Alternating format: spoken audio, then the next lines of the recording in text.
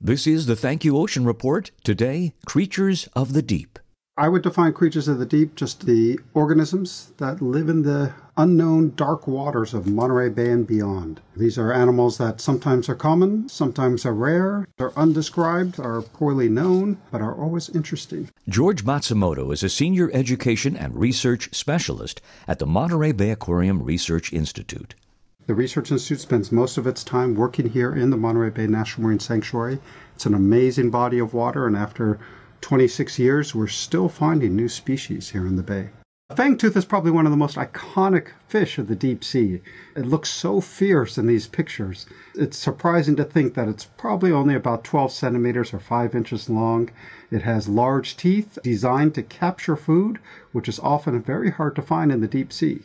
The idea about the big mouth and the sharp teeth are to make sure it holds on to its prey when it finds it.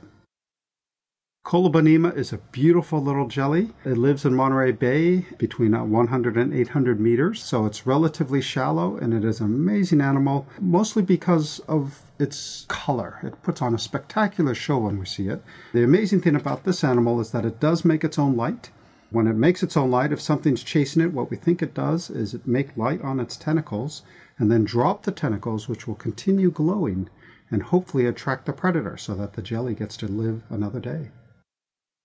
Deepstaria is a beautiful jelly. This one was photographed a little over a thousand meters below the surface here in Monterey Bay.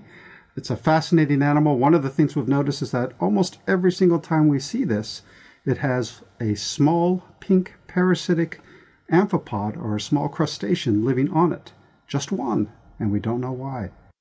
Flota is a beautiful worm, and most people don't think of worms as being beautiful. When you watch this swimming, it is just gorgeous. It has very long cilia or tiny hairs that it swims with. It lives on the sediments and floats up and swims around looking for food. It is also a new species. Siphonophores have been in the news lately because they've been seeing this big, beautiful purple siphonophore on some deep sea cameras. This is another siphonophore. It is a jelly. It has a common name, the galaxy siphonophore, because it has not been identified yet. This is a new species and so we're always willing to take some ideas or suggestions for species names. Oftentimes, when I talk to people, they'll ask me the difference between squids and octopuses. And the standard answer is that squids have 10 arms and octopuses have 8. But this is the strange squid. This is the eight armed squid, which is why we call it Octopoteuthis, the eight armed squid. It also can make its own light at the very tips of its arms.